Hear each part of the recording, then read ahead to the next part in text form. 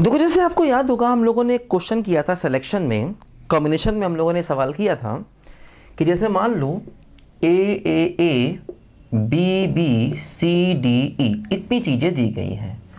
और हमें इसमें से फोर का सिलेक्शन करना है। तो हम क्वेश्चन कैसे करते थे? ऐसे, या तो केस बनाते थे कि भाई, चारों अलग अलग हैं, दो सेम हैं, दो अलग अलग हैं, तीन सेम है, एक अलग है तो ऐसे केस बनाते थे। या ऐसे करते थे कोफिशेंट से कोफिशेंट ऑफ़ एक्स की पावर फोर इन देखो ये तीनों एक जैसे हैं तो एक्स की पावर ज़ीरो वन टू और थ्री तक जाएँगे। ये दोनों एक जैसे हैं तो एक्स की पावर ज़ीरो वन और टू तक जाएँगे। ये देखो अपने आप में अकेला अकेला अकेला है। तो सी वाला ज़ीरो होगा या वन होगा डी वाला भी ज़ीरो होगा या वन होगा, और ई e वाला भी ज़ीरो होगा या वन होगा, ऐसे हम लोग करते थे, है ना? तो कोफिशेंट वाले मेथड से हम लोग क्वेश्चन को किया करते थे। मतलब देखो, अब जैसे कई बार ये क्वेश्चन भी उसी कॉन्सेप्ट से हो जाता दो कैसे? जैसे मान लो मैंने कहा कि ए ए ए ए ए मान लो टेन चीज़ें हैं, है ना? एक जैसी। और मान लो B B B B B B मान लो बी ये एट चीज़ें एक जैसी हैं। और मान लो मैंने कहा सी सी सी सी सी मान लो मैंने कहा ये नाइन चीज़ें एक जैसी हैं। अब मान लो हमसे कहा गया कि इसमें से आपको, है ना एट सेलेक्ट करना है। एट सेलेक्ट करना है। इन चीज़ों में से आपको आठ चीज़ें लेनी हैं। तो हम यही कोफिशिएंट वाला मेथड लगाएँगे। सवाल इससे लंबा जाएगा। देखो, हो क्या रहा है कि जैसे मान लो कि जो ए है और बी है और सी है।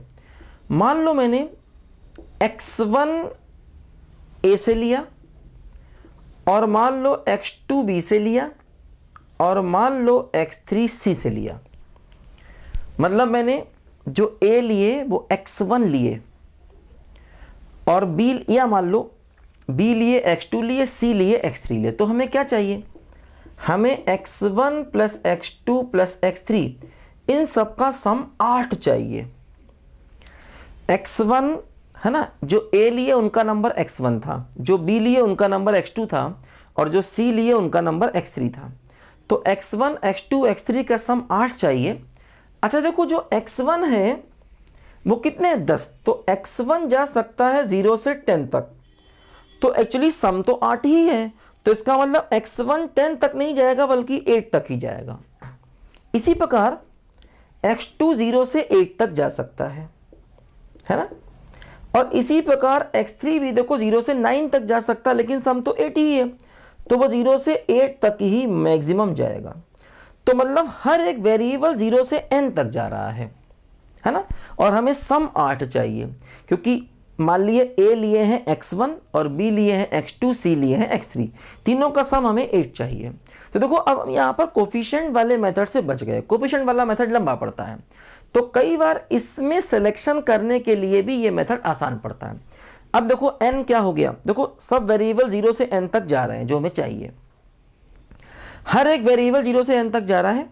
तो एन हो गया एट और आर हो गया 3 देखो ये r है 3 तीन वेरिएबल है सम 8 चाहिए। तो n plus R minus one C R minus one है ना? तो टेन सी टू हमारे क्वेश्चन का फाइनल आंसर आ गया, है ना? N है एट सम चाहिए एट और थ्री वेरिएबल से r हो गया थ्री तो eight plus three minus one तो ten N plus R minus one C R minus one तो टेन सी टू हमारे क्वेश्चन का फाइनल आंसर आ गया, है ना? तो कई बार इस सिलेक्शन वाला क्वेश्चन भी इस N plus R minus one C R minus one वाले फार्मूले से निकल जाता है, ध्यान रखना। है ना? जैसे चीज़ें ज़्यादा ज़्यादा सेलेक्ट करनी हो मतलब चीज़ें बहुत ज़्यादा ज़्यादा हो और सेलेक्ट कम करनी हो तो सवाल ऐसे करके देखो यहाँ पर निकल जाता है, ध्यान दो। है ना? कोई भी चीज़ें हों, जैसे ऐसा भी हो सकता है कि मान लीजिए आपके पास फॉर एग्ज़ाम्पल है ना? एक कलर की बीस, मान लो रेड कलर की बीस गेंदें हैं, एक जैसी। और मान लो ग्रीन कलर की पंद्रह गेंदें एक जैसी, मान लो ब्लू कलर की बारह गेंदें एक जैसी, और आपसे कहा जाए रेड, ग्रीन, ब्लू, या के पास तीन बॉल्स हैं, अब आपसे कहा जाए कि आपको टोटल दस गेंदें सेलेक्ट करनी है। तो फिर वही x one plus x two plus x three बराबर टेन करना पड़ेगा। अब देखना पड़ेगा एक्स वन ज़ीरो क्योंकि देखो, हो सकता है हम ए को ना लें तो ए के करस्पॉन्डिंग ज़ीरो हो जाएगा तो एक्स वन की वैल्यू ज़ीरो हो जाएगी, है ना? हमें तीनों का सम एट चाहिए। ये ले या ना ले, इससे मतलब नहीं। बी को ले या ना ले, इससे मतलब नहीं। सी को ले या ना ले, इससे मतलब नहीं। मतलब एक्स वन ज़ीरो से आठ तक जा सकता है। हो सकता कोई ए ना ले, हो सकता एक ले लें, दो ले लें या आठ तक ले लें। इसी प्रकार हो सकता कोई भी ना ले या आठ भी ले सकते हैं, है ना? तो एक्स टू भी ज़ीरो से एट तक जा सकता है एक्स थ्री भी ज़ीरो से एट तक जा सकता है। तो तीनों का सम एट होना चाहिए, वही हम चाहते हैं। ठीक है? तो ऐसे हम इस क्वेश्चन को आसानी से कर सकते हैं। तो ध्यान देना, ये मेथड कई बार सिलेक्शन में भी हम लगा सकते हैं। तो दिमाग थोड़ा दौड़ाना पड़ता है। जब भी ये कोफिशेंट वाला मेथड आए सामने तो हमेशा समझ जाना कि शायद ये भी लग जाए तो अच्छी बात है, क्योंकि इससे क्वेश्चन काफ़ी शॉर्ट हो जाता है। ठीक है? लिखो जरा बच्चों, ध्यान से इसको पहले।